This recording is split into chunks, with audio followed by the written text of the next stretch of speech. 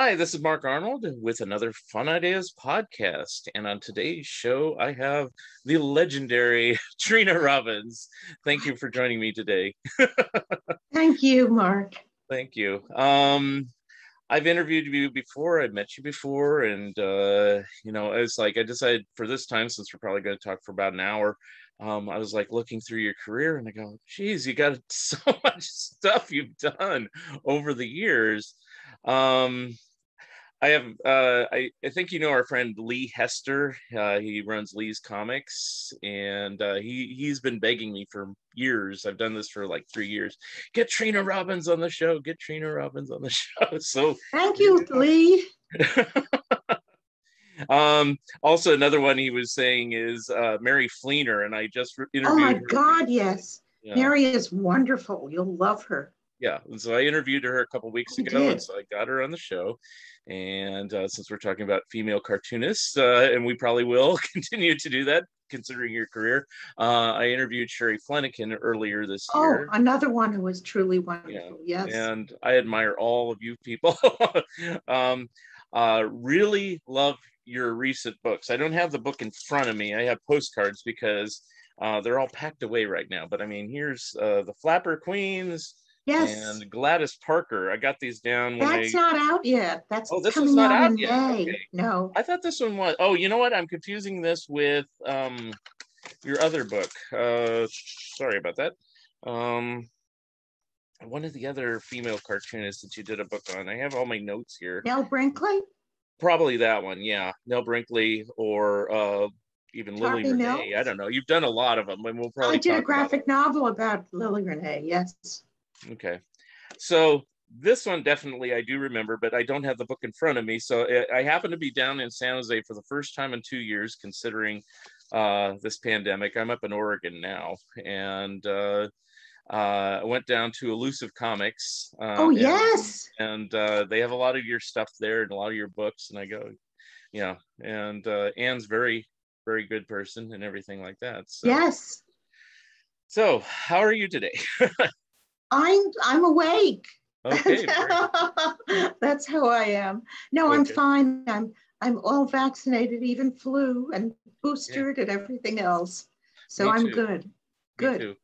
And if we did this two weeks ago, like I think we were originally trying to, I got my flu and the booster shot as well because I'm a frontline worker in my real life. and uh, it really knocked me out. I was just like in bed all day. So I wouldn't have done this on a Saturday. Wow. I'm you back. Know, only only my second uh, COVID shot uh, knocked me out, even and really just in a in a very little way. The, yeah. the day after the shot, I, yeah. I I had like one degree fever, but I felt it. Yeah, that was like me. The first one, nothing. Second no. one, I thought, oh, it'll be nothing too. And then it was a delayed reaction about two days. It was later. something. Yeah, and boy, it was like I had chills and I kept turning up the heat, and you know, and this is like in April, and it's like you know, I don't need the heat in April usually, and then and then I get overheated and sweat, and I turn it back down, you know, and it went on for like a day and a half, and then you know I'm fine, and then I was prepared, so I got my uh, my shots on Friday, figuring if something happens, I got the weekend to to like relax, and it didn't really hurt me physically it just made me really tired so i just napped all day and watched old tv shows and stuff like that. Amazingly i've been okay. I mean with the shots i haven't really had bad reactions. Oh very good. So how we usually start on these podcasts i mean we're just doing a little chit chat here but um and this is a weird question to ask you because you've done so many things so if you can kind of make it brief tell me a little bit about yourself and i guess because you're doing writing nowadays oh, but you know you've done artwork and you've done clothing design and a zillion other things. How did you kind of break into everything that you do? For everything huh? Yeah. Um well let's start with clothing okay, okay. my father was a tailor and hmm. he taught me to sew you know on a sewing machine. He taught me to use a sewing machine. Um, but then, of course, for a long time after I left home, I didn't have a machine because you have to buy them, and I was poor as a church mouse. Hmm. Um, but but I always I loved clothes and I could never afford the clothes I wanted. Excuse me. so we'll kind of flash forward to when I was living in LA and married, and my husband bought me a sewing machine for my birthday because he knew how badly I, I wanted clothes. Um, and I kind of locked because my father had taught me to use a, an old fashioned treadle machine. That's what he used. Mm-hmm. Um, so I had to learn how to use an electric machine. And I did that by simply locking myself in a room with the machine and, and not opening the door until I had mastered the machine. And um, I started making clothes and I made the things that I wanted to wear, you know, and and I just got as I sewed, I got more and more experimental. I used um, interesting fabrics, a lot of velvets. I used old lace uh, laces, um, just bits and pieces of interesting fabrics. You know, you know, antique, antique um, embroidered pieces, things like that. And at a certain point, because I had all these ideas what I wanted to make, at a certain point, I had too many clothes. Mm-hmm. You know, I mean, you, your closet can only hold so much. and so I, but I still wanted to make these clothes. So I started selling at crafts fairs. Hmm. And um, also at this point, my ex husband and I were going to, we were really into the whole Sunset Strip rock and roll scene. Yeah. So I was wearing my clothes to these, these clubs, and people noticed them and wanted them, mm-hmm. including, you know, rock and roll people, you know, uh, mus- musicians and their wives. Um, So at, in 1966, I left Los Angeles and moved to New York. And the first thing I noticed was that I thought the clothes were very tame. and I knew that I could do better. Mm-hmm. And I rented a storefront and filled it with my clothes and opened a store. And voila, that's how it happened. Hmm. And that store was called Broccoli, is that correct? Yes, yes. Now, did you ever think, uh, you know, since the Beatles did Apple, you know, that you're like a influence on them in any way? I, I, I doubt it, but um, we all had cute names, you know. Yeah. People, they still have cute names. Mm-hmm. Now, how did uh, did you know? You said all these rock and rollers, and I'll name drop a few like Mama Cass Elliot and uh, David Crosby and Jim Morrison did they Donovan. just come up? Donovan was one, Donovan Leitch, uh, and uh, did they just come upon your store, or did you solicit uh, you just froze. Go ahead. Oh, there. Okay. We, we, Can you say all that freeze. again? Just keep going. Yeah, if we sure. freeze. Okay. Sure. Yeah. What was the question? Um, you know, all these uh, different rock and roll stars and everything. Did they just stumble upon your store, or did you solicit uh, their? Oh well, we we knew the Byrds. We were very good friends with the Byrds, and David, in fact, was like my favorite bird. he was my best bird friend. Um, and um, at a certain point, the the musicians just started coming over because the Byrds would recommend them to us or mm-hmm. recommend us to them. Mm-hmm. Um, it was David who brought Mama Cass over, and mm-hmm. she needed, she couldn't find anything nice in her size. In those mm-hmm. days, they just weren't making anything nice in fluff sizes. So I made her stuff that was nice. So that all, all that like psychedelic stuff, you know, that she wore typically like say on the Ed Sullivan show or things like that. Was that um, designed by two you? dresses that I made for her were on the Ed Sullivan show. Yes. Cool. Cool. and um, so when you now you were born in Brooklyn, so did you move back and forth? Is that what happened?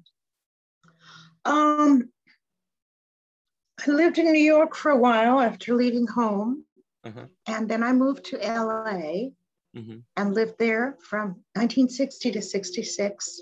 Okay. And excuse me, and then I wound up in New York.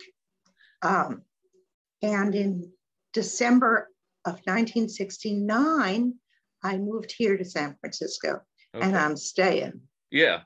And if for, you know, I didn't do as much research about you. I just thought you were born and bred, raised in San Francisco because I just think of you as a well, San Francisco person. You know, I've been living there, living there since since December 1969, living here since yeah. December 69. Well, not not exactly here. Mm-hmm. now, when you moved uh, to LA or San Francisco, did you have any clothing stores there, or did you just do? No, I just sewed from my own home. Oh, okay, all right.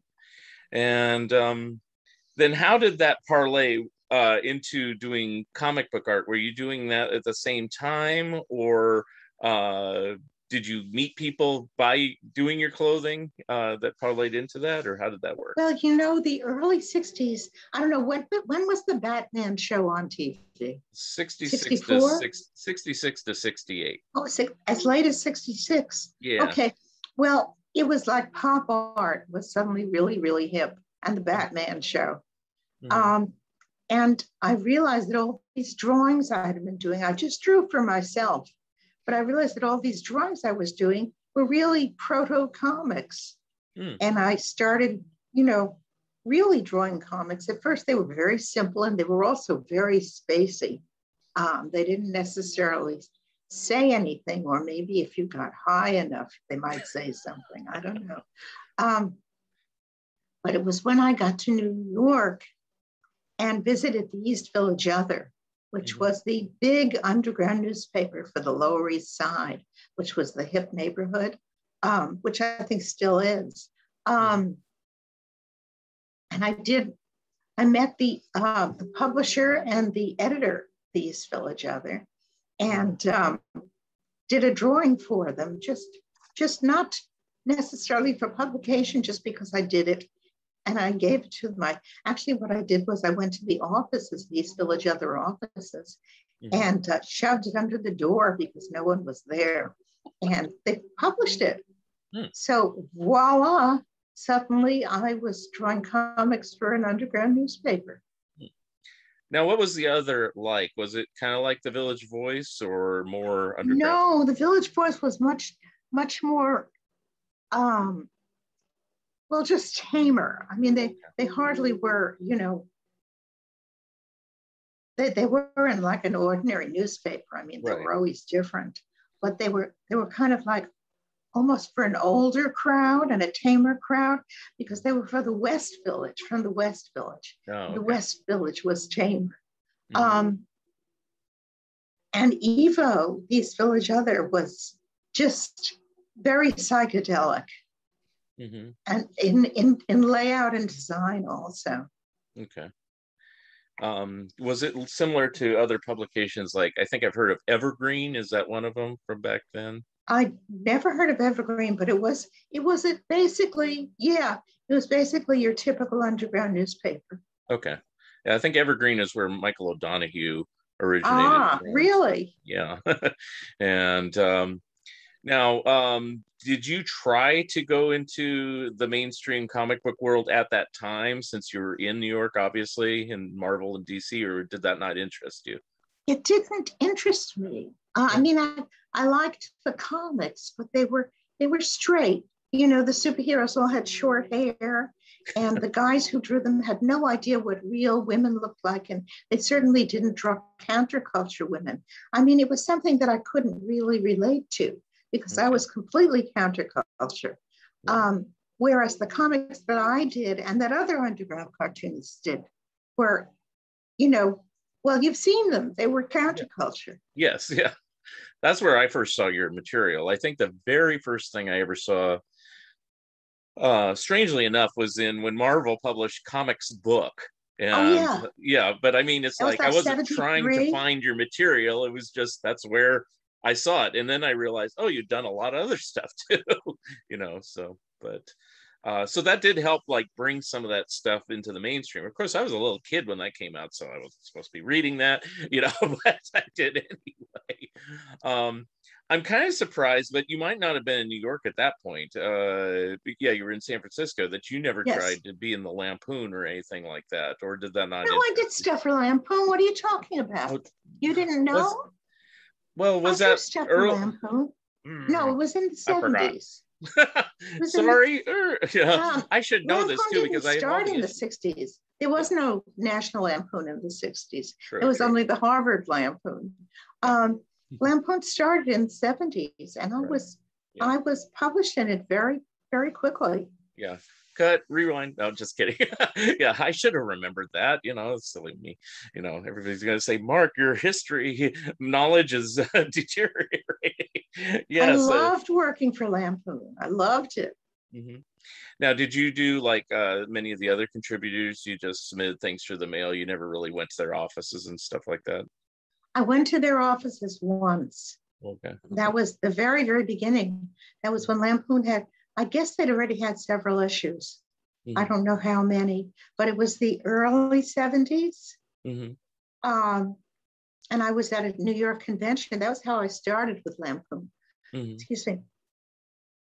It was the early 70s, and I was at a New York convention, and Michael O'Donoghue was there, and I mm-hmm. was dying to be in Lampoon. So I, I, I just kind of all took all my courage in hand, you know, and and walked up to him and said, Hello, Michael O'Donoghue. My name is Trina Robinson. I sure would like to be in, net, in, in Harvard Lampoon. Mm-hmm. And he went, Harvard or National? I went, National, sorry. and we just made an appointment. I visited him in the Lampoon offices. He introduced me to everyone. He assured me that MK Brown was a woman, and so mm-hmm. they were not sexist. Yeah. Um, and that's how it started. Mm-hmm. And um, yeah, that's right. You've been in there. I'm doing the same faux pas. You said Harvard Lampoon instead of National. I forgot exactly. you were in there, and it's like, no, you were in there many, many times. Yes. You know, for some reason, you know. And I have all the issues. I have issues, but I have all the issues from 1970 through the end of the run in '98. I know you're long gone by that point, you know, but it's like, um, uh, yeah. Uh, so I don't even know where to go from this, you know, because I'm embarrassed when I always uh, make a faux pas. Uh, at the time, also, there were other publishers, and I know you were kind of vaguely involved uh, with Jim Warren and Vampirella and things like that. So, I mean, all I did was design her costume. Right. And I described it to Frank Frazetta over the phone. Hmm. And that's how he drew her. Mm-hmm. So you didn't actually work for them. I drew nothing for them. No. Okay. I thought maybe somewhere along the line you might have worked for Warren as well, just because. No, but we're, we're, we still exchange Christmas cards. He's a very sweet man. Oh, okay. So you do get along with Jim Warren. Oh, Some yes, people said absolutely. he was really tough and you know hard nosed and stuff like that, and maybe he was to people who worked for him or something. he was. A, he is a very sweet man. Okay, I've never met him actually. The only the closest I've met to anyone working there, other than yourself, uh, and you only did peripherally, was uh, maybe Forrest J. Ackerman, and uh, I think I met Bernie Wrightson somewhere along the line. But you know, most of the time, you know, I, I never even met Harvey Kurtzman, and I like I always wish I. Ah, oh, Harvey was a dear, a dear, dear man. Mm-hmm. And uh, let me see. So I want to talk about your influences a little bit before I talk about your books because I was uh, looking through another book. I tried to do as much research as possible. Um, of course, uh, you came to my Harvey Art Show, which is about a decade and a half ago now. Geez. Uh, and you uh, wore a dotted uh, dress, which I never asked you. Did you design that yourself for that night? I don't remember the dress that I wore but I love polka dots. I have a lot of polka dotted dresses yeah. in my closet. I believe it was a white dress with red dots, and just as simple as ah. that, just all over. But I, I didn't know if you still, still don't remember it. Yeah, I, I don't know if you still design all your own clothes or if you. Uh... I don't anymore. Okay. I don't anymore. But I'm I'm the queen of thrift shoppers. Okay.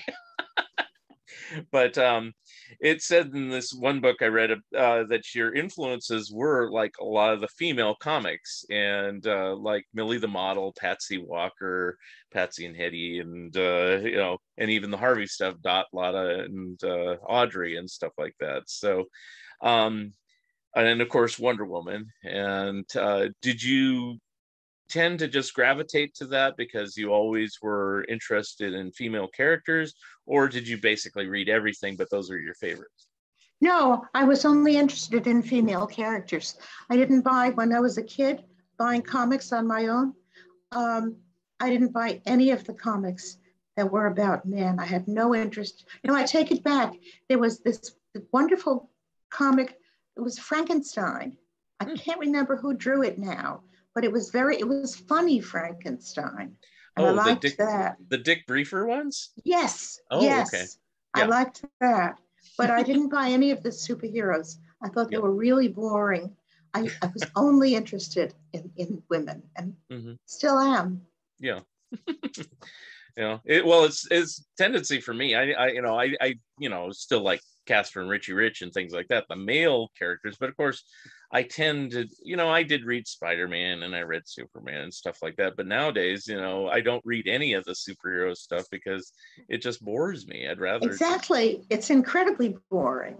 Yeah. and also you know i when when i got old enough to think about why i didn't like them i realized that the message they give kids is really awful because the message is if you disagree with somebody, if you don't like what someone else is doing, you don't talk it out. You immediately use your fists. Yeah. You know, it's fight, immediately fight.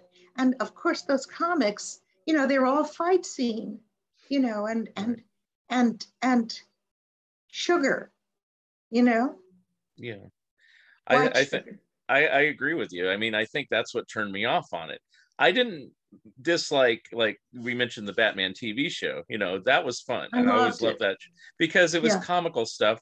And you know, when they did the fights, you know, they had the big biff, pow, you know, coming up on the yes. screen. Yes. And it was basically silly. Nobody bled, nobody really That's got right. hurt you know nobody got shot you know uh you know things like that so it, it, was fun you know but in general yeah I, i'm with you I, I tended to like the harvey stuff because it was cute and they got into interesting adventures i liked tintin i liked uh, the archie stuff because i liked the relationship stuff and and the humor well what i liked about archie was betty and veronica yeah. not really necessarily archie and yeah. you know i've spoken to other women about what comics they read were ki- when they were kids. Mm-hmm. And so many of them said, Oh, yeah, I read Betty and Veronica, not Archie. They would even, that was before there were Betty and Veronica comics, but yeah. still, Betty and Veronica were the big interest, interests in, Harp, in, in Archie comics. And yeah. so they would they would not say, "Oh yeah, I read Archie." They would say, "Oh yeah, I read Betty and Veronica." Yeah, I tended to read Archie as a whole meaning you know and for a time like in the 80s and 90s i got all the titles i loved it so if it was josie if it was uh, that wilkin boy it didn't matter jughead whatever i got all the titles so but uh, uh, i never had an issue one way or the other probably because the earliest comics i ever had was a little smattering of everything. I had a Casper comic, I had a Wendy comic, I had a Scooby Doo comic, I had this, that, and the other. And it's like I never really thought about it that way and I never really considered myself being a feminist or not being a feminist, but I was always open to all sorts of ideas. And well, I had never heard the term feminist, and I didn't think of my. I mean, I was a kid. I yeah. didn't think of myself as a feminist. I just knew what I liked, yeah. and what I liked was the comics that starred women. Yeah.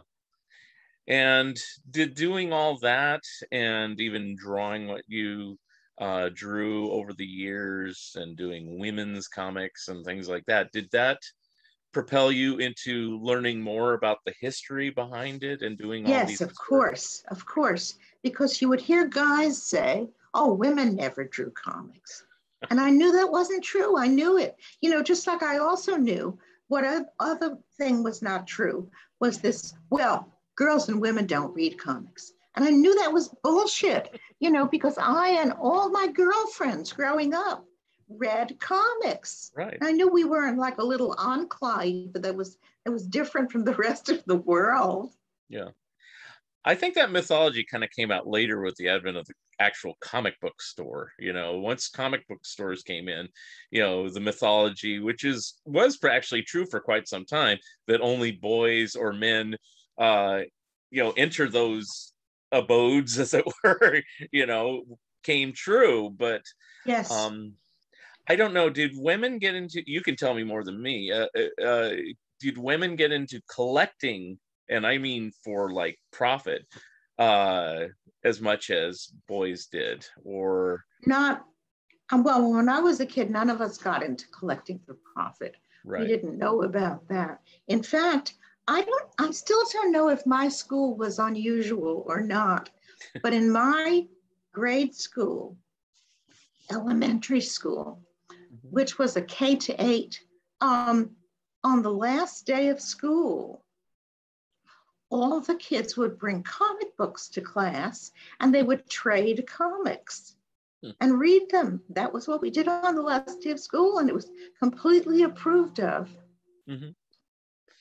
Wow. I yeah, I know from talking to my dad. My dad's still around, and uh, he's around your same age, and uh, he uh, said, you know, you didn't collect comics per se. I mean, you traded them. That's what you did. And if you ever saw them like in an antique store or junk store, they were a nickel. You know, that's yeah. what they're worth. You yeah. know, they weren't worth thousands of millions of dollars. Exactly. yeah. and um, the last thing my dad collected, he he stopped when he was a teenager, was the original Mad in the early 50s. And uh, once Mad turned to a magazine, he turned he got the first one and he didn't like it as much as the comic. It wasn't book. as good. It was yeah, never and, as good as the comic. Yeah, so he just said, eh, "I'm done. I'm I'm 17 or whatever. You know, I'm done anyway." And he he gave them all away. With me as a little kid, I go, "You gave all the Mads away." they were wonderful, yeah. but I didn't save them either. Yeah, you just didn't. Yeah, and you know, it, it, it since I grew up in the early 70s, where you know, I mean, I was born in the 60s, but in the 70s when I found out, oh, these are worth money, then, you know, I was saying, didn't you want to keep them? I was like, yeah, they weren't worth anything. yeah. And I said, I but they're funny. Wouldn't the you want to keep them for that? And yeah, I read them already. That's enough, you know. like... I think one of the worst things that happened to comics was saving them so that you could make lots of money on them. That's yeah. a terrible thing. Comics are to read. Yeah.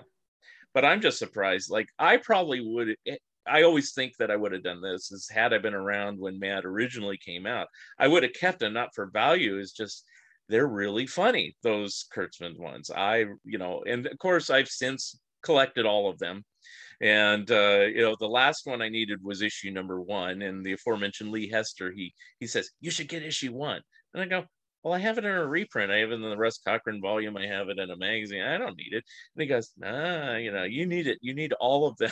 and he convinced me to pay it over time. And it's the most I've ever paid for a comic book, which was $400. And I'm like, oh my oh. God.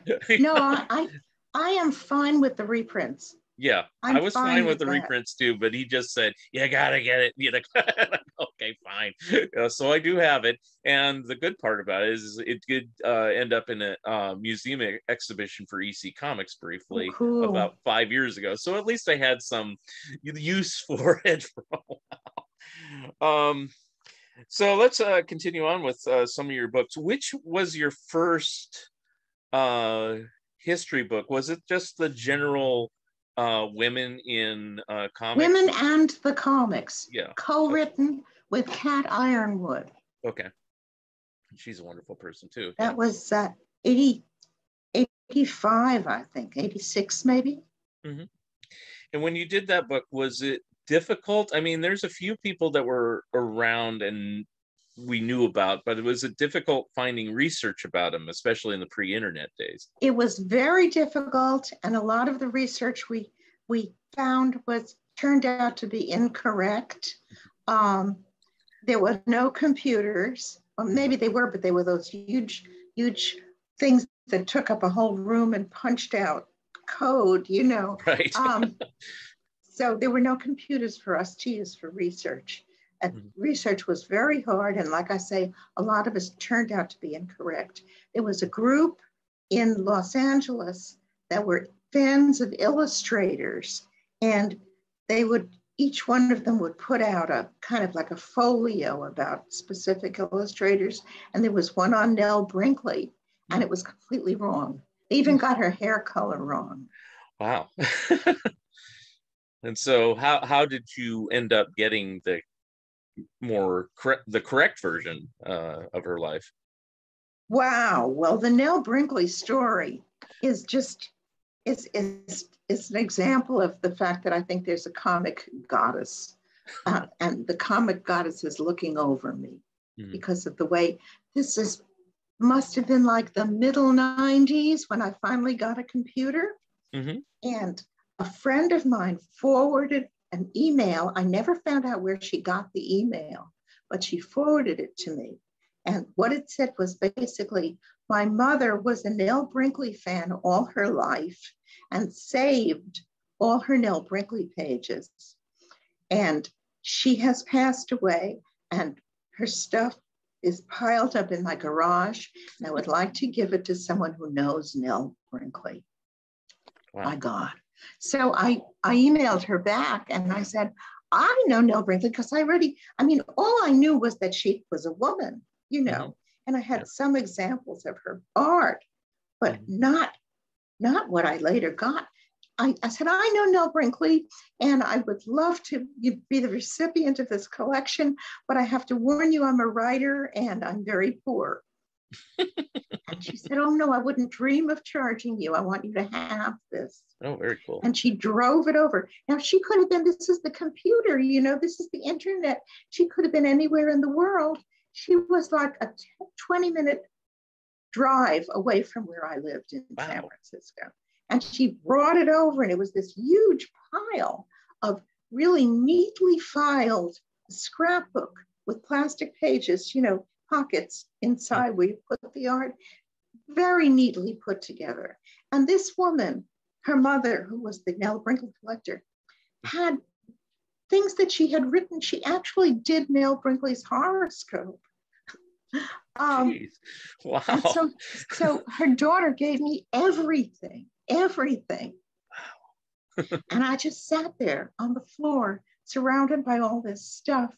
It's just amazed, amazed at what I had found and what mm-hmm. this wonderful woman has given me. And every time I have used Nell Brinkley in my books, I always talk about Gail Hegeland, who was the woman who's who's most most of the Nell Brinkley stuff that I got, but all had belonged to Gail Hegeland.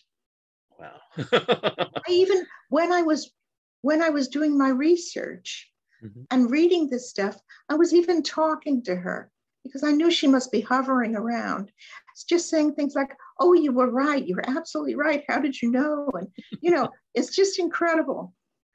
Did you find out uh, how she became a fan of Nell's? Oh, Nell had so many fans that was not a surprise. Mm. Women loved her, men loved her too, but women especially adored her. And they used to collect her work and save it in scrapbooks. Girls used to color in her black and white stuff. I have some examples of that. Black and white Nell Brinkley printed pages that were colored in by some some girl, you know, back in like like 1914 you know? And even draw they would copy her style. I have examples of art original pencil drawings by 14 year old girls. And i've i have found the nell brinkley published pages that this girl was copying. Hmm. it's just fascinating to me because see that's a part of history and i need to read all your books i think. I've only read a few. Uh, but um, the, the thing that I find fascinating is when you go back that far, that there was some sort of fandom. I mean, I'm surprised there was fandom was for other things. You know, she that, was a superstar. Yeah, she was a superstar. Um, what also among the stuff that Gail Hegeland had was newspaper articles, clippings of newspaper articles about Nell Brinkley. Wow. she was a superstar. And that you know, and all these guys were saying, oh, there were no women drawing comics. Well, she there she was. Yeah. And more too. I mean, there were more women. Yeah. But you know, um, she's a great example. Right. I mean, one of your books I think is pretty uh um well, we'll talk about the flapper cartoonist, but I mean uh you know, you talk about uh like Pretty in Ink. I, you know, I need to read this with my glasses up. Pretty in Ink is kind of like an update of that other uh, women in yes, car- women is. cartoonist. Yeah. So, um, you talk about Ethel Hayes, Edwina Dumm, uh, of course, Ramona Fradon and Dale Messick, and uh, current ones like, uh, or more current ones like Lynda Barry and Carol Tyler. I wrote all these people down because I wouldn't remember when I get to the podcast here.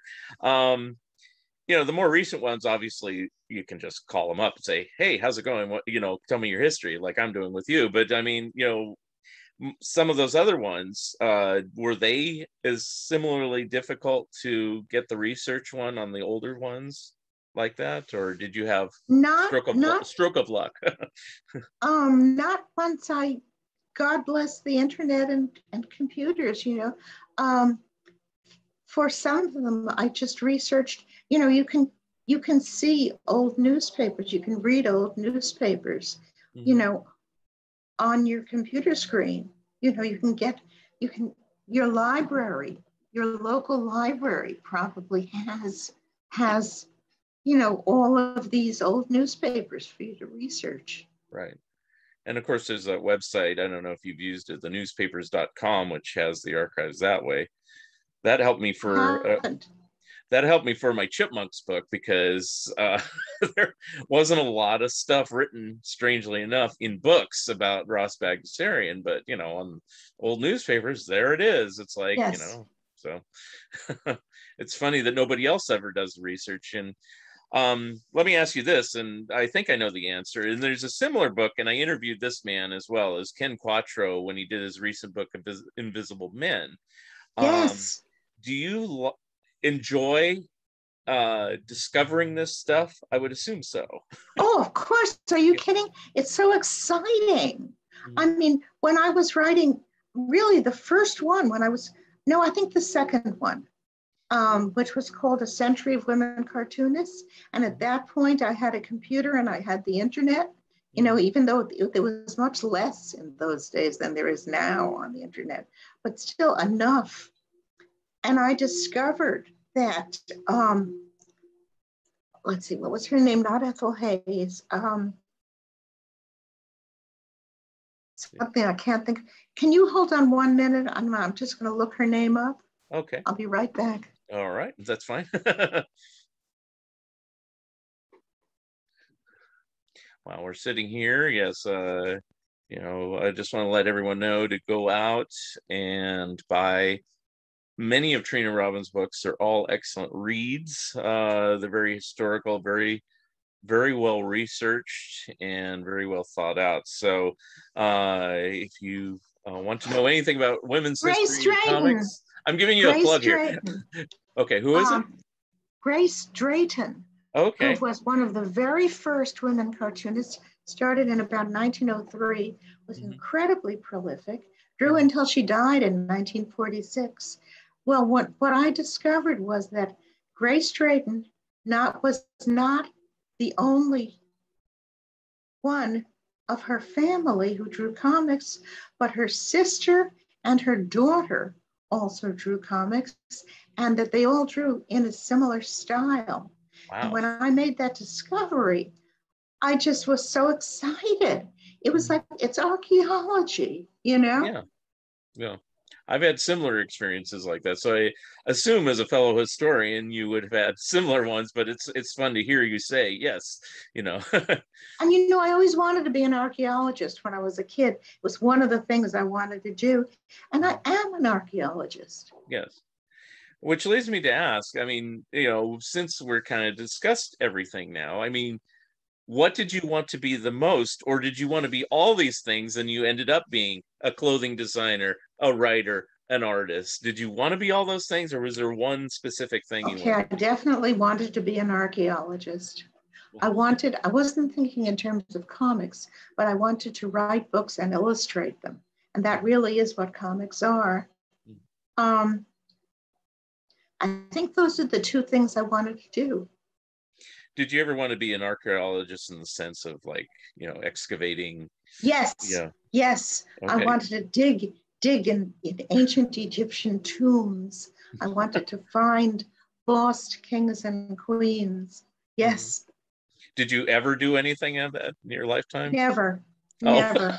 Never. but I'm sure you know, you've read about it probably and watched uh, TV yes, shows. well, I, I read. I was I was an omnivorous reader. And I still am an omnivorous reader. This, as soon as I finish one book, I start another. I'm always reading. Mm-hmm. Um, I discovered ancient Egyptian, you know, ancient Egyptian history and mythology, and I loved it. I loved it. Like in school, they taught us a bit of, of the Greek and Roman gods. You know, mm-hmm. later when we got a little older in high school, we read the Odyssey.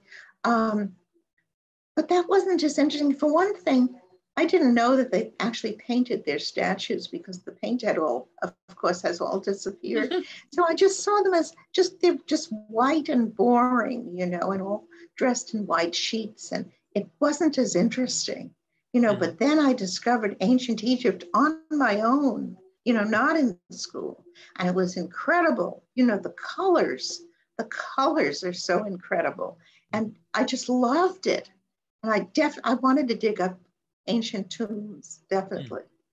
Was it always the art, like say the hieroglyphics and things like that on the wall that attracted you, yes, or was it just it was everything? the art of it was the art, certainly. Mm-hmm.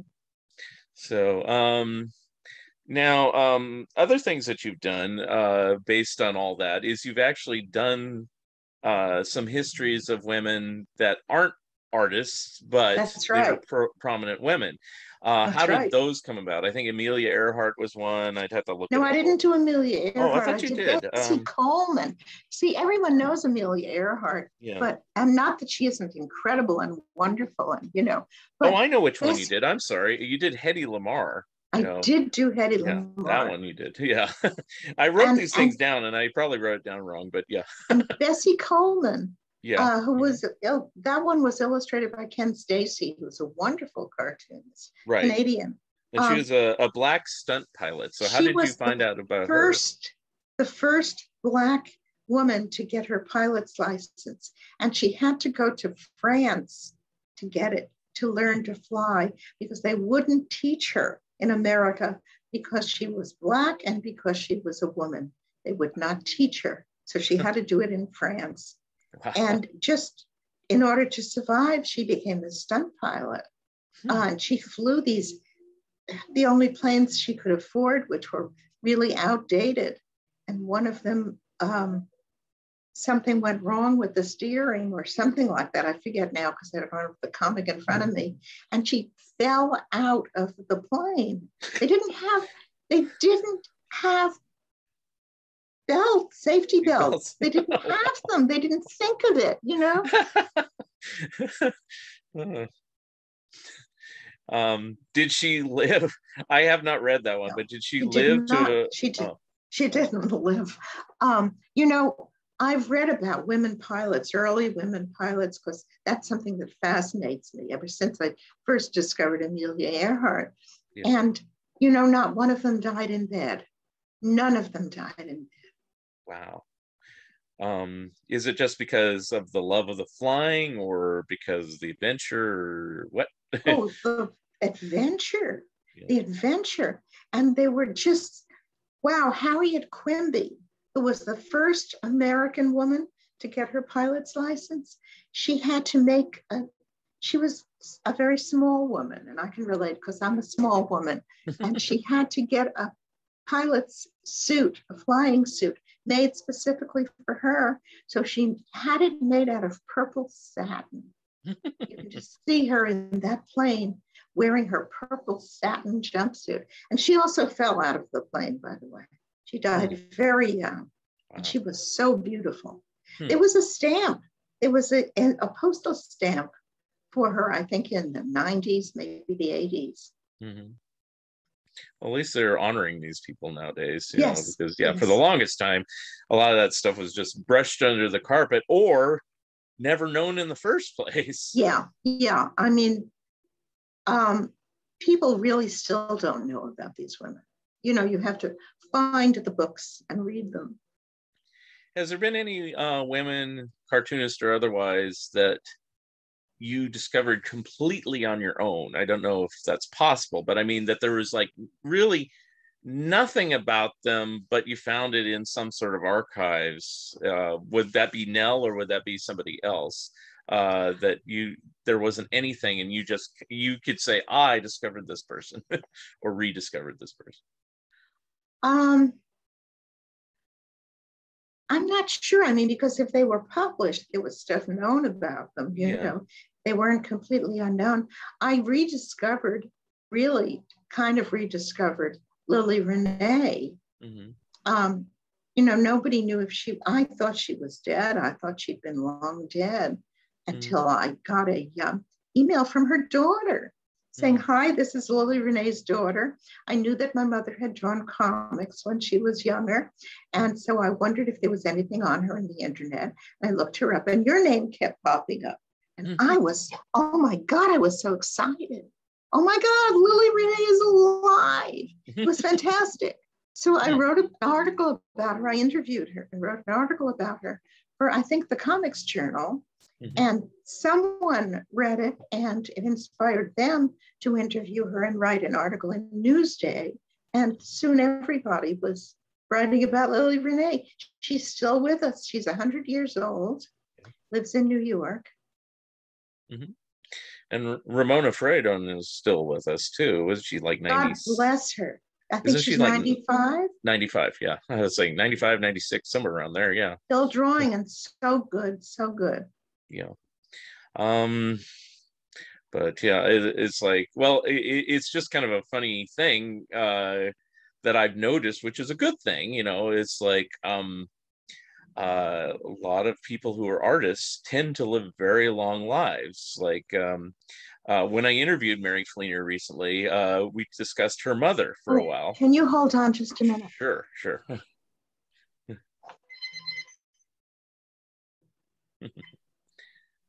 Hi, Casey. Hi, I'm doing an interview right now on Zoom. Okay, bye. how dare they interrupt our interview? That's how it is. It's very casual here on the Fun Ideas podcast. That was my daughter. We're we're putting up a gate for our chickens. okay. I was going to ask you about that too, but we'll get to it. we have chickens. So, so ha- what I talked about uh, with Mary Fleener is her mother. I don't know if you know her mother worked for Disney briefly in the early 40s. Uh, I think I, I think she told me. Yeah, and uh, her mother's going to be a hundred uh, very soon. Oh, wonderful. Yeah. So, and uh, it's just that, you know, it seems like a lot of artists and animators and things like that live very, very long lives, you know. and so, uh, do you do you have any insight on that? Is it because I have no insight? I know okay. that I want to make it to a hundred. I think you will. And after that, I can I can fall upon my keyboard and they'll find me at the computer. um, before I talk about your chickens, because I do want to ask you about that. Um, at this point in your career, do you just enjoy doing these type of uh, biographies and histories and things like that, or oh, is course. there more? Is there more comic book work in you? I know you did Wonder Woman and Honey West in recent years and things like that. Uh, well, I'd like to write more comics, but I haven't gotten any offers. Okay. I'm dying to write more comics. Or even ones on your own of your own creation. I mean, uh, when you when you deal with the different publishers, like you do a lot of work with Fantagraphics and stuff like that. I love they, Fantagraphics do, does Gary or anybody over there say, let's do a Trina Robbins collection or do a new graphic novel or anything like that? Or is there more just interest in your history books? Gary is a pleasure and, and he's published many of my histories, but I don't I don't know if he's interested. He has certainly never told me hmm. he's interested in comics by me. I mean, yeah. and I know he likes my work. I mean, he has told me, he has said, you know, what what's next? You know um, i haven't gotten any offers i offer please make me an offer you guys who are out there because i think you know even the book you did um, last girl standing mm-hmm. i mean which was basically your autobiography um, I would love to see a graphic novel version of that. I mean, because like I said, going into this, your life is so varied and fascinating. I don't know where to begin. I mean, that's what I would request if I was a publisher and had the money to do it. I'd say, do your life story it. in a graphic version. I'd have to draw it, and I'm really not drawing anymore. Oh, okay. I think that's what I was asking. I mean, do you do any sort of artwork or drawing much anymore? You you do just more doodles just when I'm on the phone. Okay, so you yeah, that I I think that's what I was really uh, driving at is more drawing than actual writing. I mean, obviously you're writing because books are coming out. yes, and I'm still writing comics. You know, I just like I said, I haven't gotten any any offers. Mm-hmm. Okay. Well, I mean, yeah, going back to that suggestion, you know, would there be, if somebody was to illustrate your life story, let's say, uh, who would you like to do it if you had dream casting? Of course, it'd have to be somebody's around. You couldn't say somebody that's passed. Well, you know, I've worked with Anne Timmons a lot, and she's mm-hmm. so good. I always felt that she draws like me, only better. Mm-hmm. So she is somebody I would definitely think of. Very good. Okay. All right, going from there because one of the reasons we had to plan this on a, a, a, morning time is you mentioned you had to feed your chickens, and yes. I thought, to be honest, when you first said that, I was I thought it was kind of a joke or something, and I go, what? You know and then no you really have to put your chickens to bed and things like that. in the backyard. so, so what do you have a whole tell me your situation with your animals and things my like situation with my chickens. Um, we have a hen house for them a little hen house there's only two. It's a very small backyard and and my daughter casey did the research and discovered that that really we couldn't have more than two chickens in such a tiny backyard. They're dear things and they give us eggs. One of them esther is an Easter egger, Esther the Easter egger, and she makes she produces colored eggs. Would you like to see one? Sure, sure.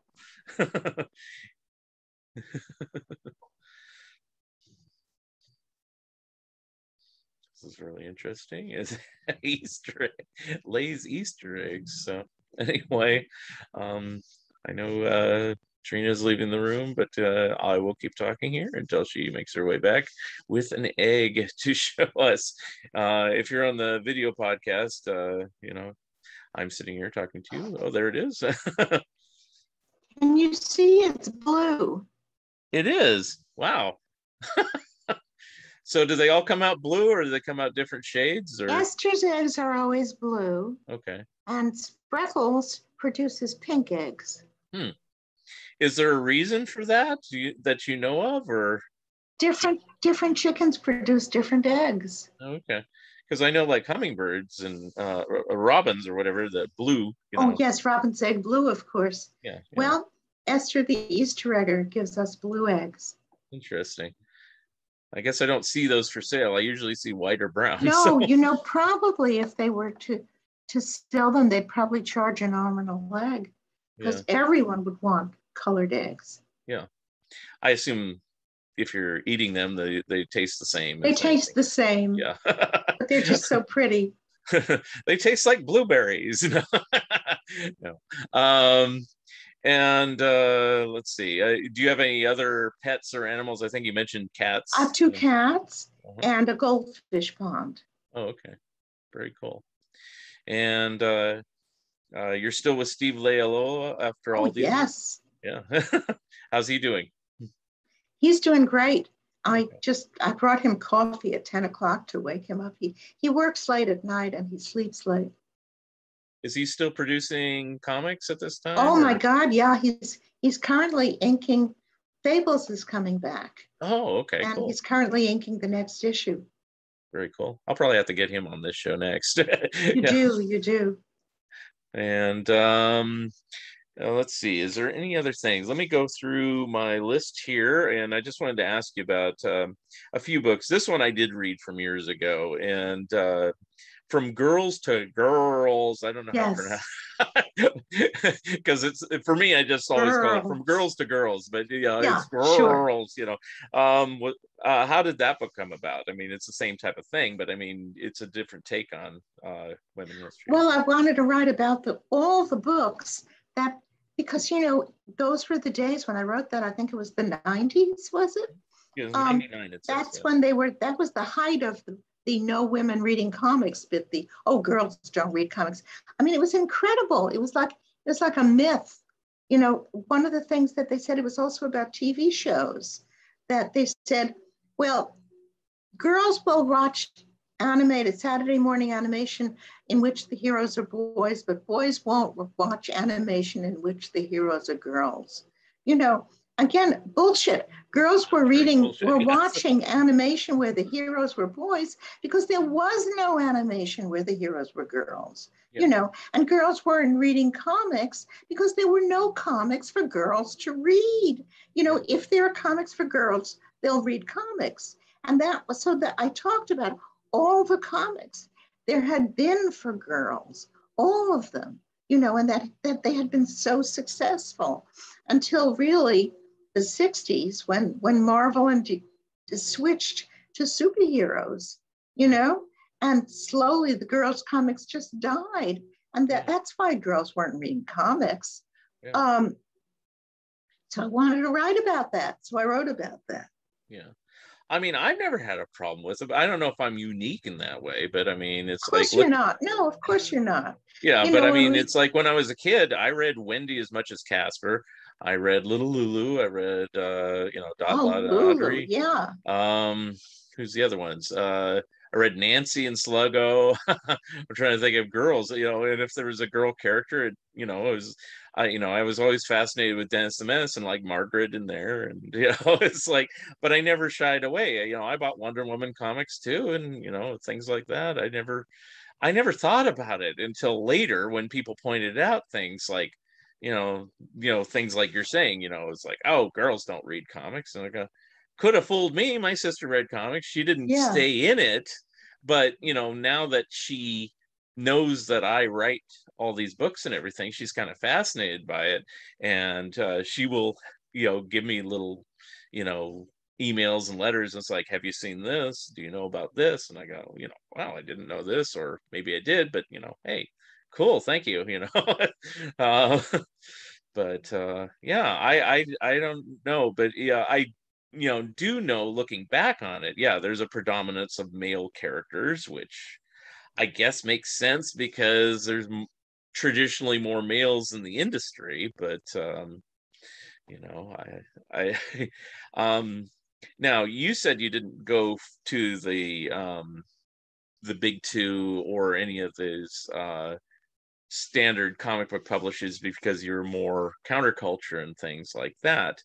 Um, but do you think women in general, from doing your research, just had trouble over the years getting into the well, mainstream comic book industry or was they just didn't have an interest because they want to do other things with their art? Well they used to as you know um, they used to be drawing comic books too. You know during the war when the men were off fighting the women you know in every every field you know from from driving trucks and buses to building ships and planes to drawing comics. The women entered the field right. and they were fine. They, you know, they were good artists. But yeah. what, what happened in, I, I think, you know, starting in the 70s, maybe, I think maybe the 80s is when it started, maybe the late 70s, when everyone moved, when it all moved to comic stores, you yeah. know, when you couldn't just get your comics at a corner corner grocery or a corner drugstore. Um, that the comic stores were run by by men, you know, who were comic fans, and they had loved superhero comics, and that was all they wanted to carry was superhero comics. You know, and if if if you can't find the book, you then you're not going to read it obviously. That's true. And then they're then they're going to say oh well girls don't read comics. Well you know they weren't carrying the comics that girls liked. Right. But um i wanted to ask again you know it's like um uh, like I said, you didn't try to go to Marvel or DC or anything like that no. because the kind but do you know of women that had any sort of it like oh, you can't work at Marvel because you're a woman. Did you read no, no, or hear of any stories of that during the 50s or 60s or anything like that? No, no. Okay. um, what happened, of course, was that the war ended and the boys came back and they got their jobs back and the women were sent back to the kitchen, you know, because the boys were more important. Yeah. Well, that actually happened again in you know for black men as well because in that Invisible Men book, you know, when I was interviewing Ken, he said that exact same thing is that they actually came in during the war and then after the war it's like we don't need you. Bye bye you know yeah and that's right. a few stayed in but uh, most didn't or they had to find other avenues for their art like advertising or something else you know and uh or painting or whatever you know it's like so did any women stay in uh, from the World War II time? I mean, no, I, of course we're saying Ramona and people like that, but I mean, any others that I'm not remembering at the moment? Well, Ramona was post-war, as was Marie I Severin. I thought she was in uh, during World no, she wasn't drawing during the war. No, no, okay. no, she's not okay. that old. Okay. um, I know Marie Severin enough. came in. Uh, let's see, who else is in there? Um, I can't think of any right now. but um, but uh, have you heard any stories from like uh, Marie Severin or anybody like that? I'm sure you talked to her that said that was difficult getting artwork published or anything like that. It's like this is a boys' club or anything like that. Um, no, Ramona and uh, Marie didn't have any problem. But one thing is, well, Marie really did because when when Stan Lee hired her, it was originally just to, you know, to correct mistakes and erase pencil lines and and do coloring. You know, it was it wasn't until 66 that she actually he actually let her draw comics. Right. Um, but the thing is that they had a house style, DC and Marvel also they had a house style, this kind of superhero house style with the the fist, the forward fist, you know, and and yeah. just strange angles and and and also big muscular guys beating each other up. And women just don't draw that. Women, it's true, you know, it's true that women and men do draw differently. Yeah. And if you'll pick up some DC and Marvel comics today, you'll see that they look completely different because they're drawn by women. Yeah. Women have brought a new style, a different style into comics. It's not a new style because they always drew like that. Yeah. You know, they used to draw us like a girl used to be an insult. Oh, she draws like a girl. You know, well, no, they do draw like girls and they draw great. Yeah. Draws it's, like a girl is great. It's a new style for a traditional format. How about that? Yes. Yes. That's well. um, so um, let's talk about your most recent one. You know, again, the Flapper Queens. You know that I mentioned yeah. here, and uh, so you kind of picked uh, basically six uh, uh, artists to focus on, and uh, we mentioned Nell, and then there's Virginia. How do you pronounce Boucher. that? Boucher. Okay. Okay. Okay. Um, and what do you have to um, say about her? Uh, you know, she was wonderful and she's very under, she's not well known and she's underappreciated, but she was extremely successful. And she was actually draw comics through the 50s. She, I, I have examples of very short stories, like just two pagers that she did for the romance books in like 1949, 1950. I recognize her style. She was great. She was great, and people just don't know about her. She's yeah. the most underappreciated of the Flapper Queens. Mm-hmm. And then Edith uh, Stevens was one. Yeah. now that that was, you know, like I said, there's a there is a goddess of comics who who hovers over me. Um, I received um, mail from her grand nephew who had read my books on women cartoonists. And he said, You may not know about my aunt, my great aunt Edith Stevens. Mm-hmm. And sent me examples of her work. And I said, Oh my God, she's a riot. I love her stuff. and I love the fact that she was called the Kate Smith of the drawing board, too, because she was a little tubby. Mm-hmm. Um, so, you know, it was great to feature her in my book. Mm-hmm. And the next one. And of course, Ethel Hays who you yeah, know that everyone, was the next one I was going to look at her work and they go, "Oh my God, she's incredible! Why did nobody know about her before?" I would have done a whole book on her, but I just it I don't have as much enough information. I can okay. only write about women. You know. Yeah, that was going to be one of my questions. Is like, you know, would any of these uh, be able to fill out a whole book if you had enough information for it? No, except of okay. course for Nell Brinkley, who right. you know I did a book on her, yeah. and that's why I I put them all together in the Flapper Queens Plus, okay. they were wonderful, but I didn't have enough for an entire book. And then um, I'm missing one, so you'll have to correct me, but I have Eleanor Shore. Yeah, yeah she's really interesting because she started in the teens and she was drawing like Nell Brinkley. There were a whole list of women who were all inspired by Nell Brinkley and drew in that style. Beautiful Art Nouveau style. But by the 20s, she had developed her own style, which was very Art Deco. And the stories are very cute and funny too. They're about this one specific flapper who, who wears her father's clothes. He, she wears his bathing suits and his socks. And it's very cute. And her father, of course, is this, this little bitty man. And she's this tall, gorgeous flapper. now, other than in your books, where's the best place to see a lot of their artwork? Uh, which magazines and newspapers? My work is the only place to see there unless you you you can dig up you know old newspapers i'm the only one who has reprinted them oh wow okay so um, that's a really appreciated by me because i always like you know for i've always said this about other people who do comic art history and stuff like that is like you did the book that i i either say you did the book i wanted to do or you did the book i didn't want to do uh-huh. uh, but I want it, you know, and, and you do the books that I don't re- necessarily, it's not that I'm against women comics. It's like, I just don't know enough about it. And you do it so well. It's like, those are the books I want to get because you've done all the research and now I can just take it and read it. and I love research. I love research. Yeah. That's the whole, the whole fun of writing them is the research and uh, you know that and that's why i do for what i've done you know harvey comics um, archie comics and things like that you know it's like i hope to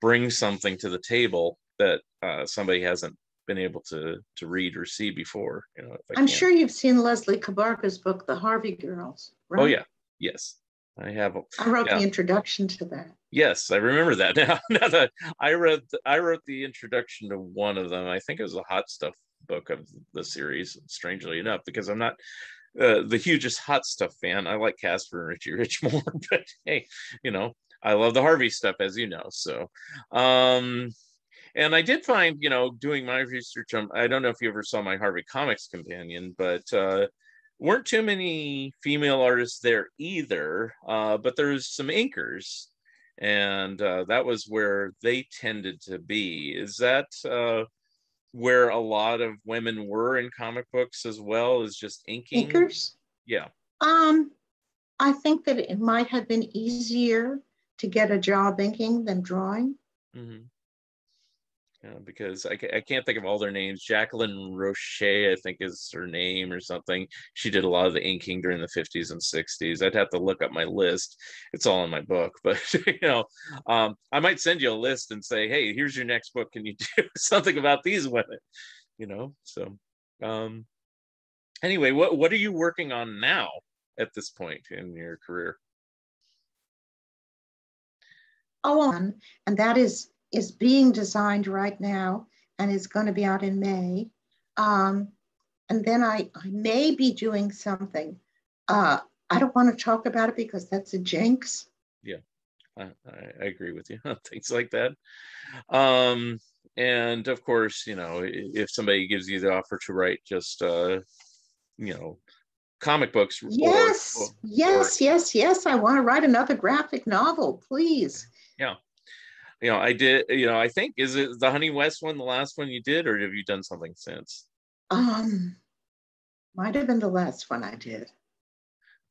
Okay, yeah, that was about six or seven years ago, I think, maybe longer. you know, um, so um, I guess that's all we you know I have really to ask you for today. But you know, it's like I could just keep asking you questions about you know people you've met, uh, books you've written, articles you've uh, seen, and all that stuff. But I mean, uh, you know, I always t- try to end the show with basically, you know, uh, you know, if you're making any public appearances in the next few months, I know pandemic has kind of slowed things down, and how people can contact you, websites or anything like that. Um, I'm on Facebook, and uh, you can even you can ask me to friend you, but you have to remind me that you saw this. You saw me on Mark Arnold's blog. You know, because uh, I don't just friend anybody. I have right. to have some connection. Mm-hmm. Um, well, I'm on Facebook. I don't have a website. I had a website many years ago and the Russians stole it. I don't really know if the Russians stole it, but somebody stole it. yeah. Okay. And any personal appearances in the next few months or uh, in the next year? Um, I am in in December and I think in February. I'm going to be at conventions. Just a minute, I'll let's see where they are. Okay.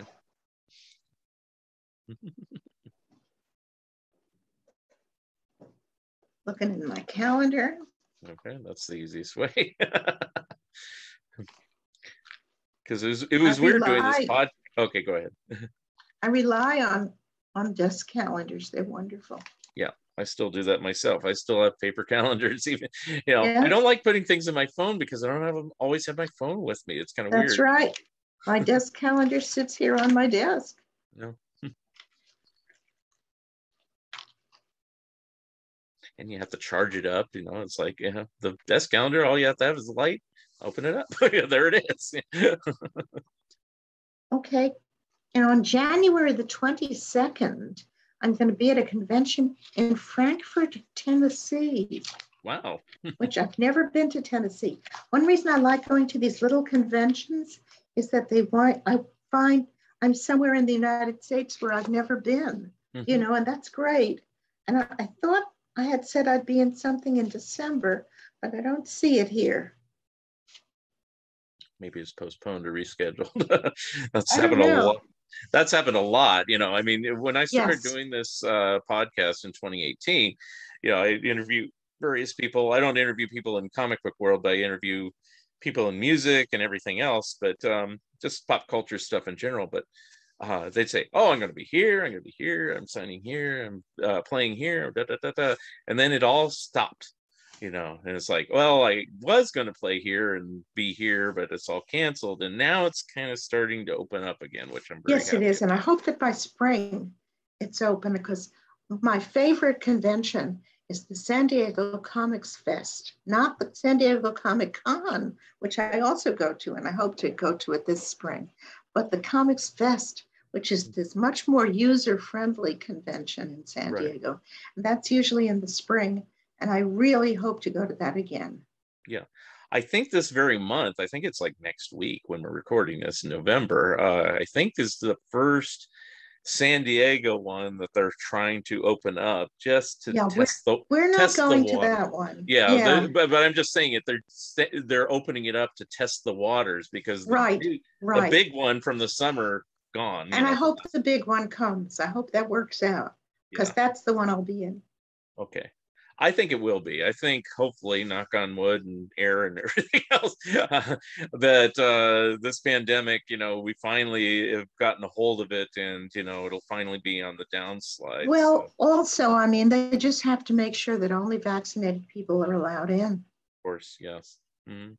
I went to one small convention when I went down to California in October, and it was just a Pleasant Hill location. But yeah, they they wanted to make sure you were vaccinated there and wear a mask and everything.